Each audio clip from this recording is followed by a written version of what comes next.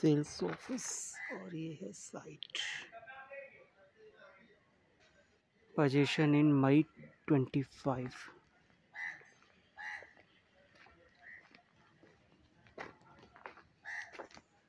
पाँच विंग का कॉम्प्लेक्स है।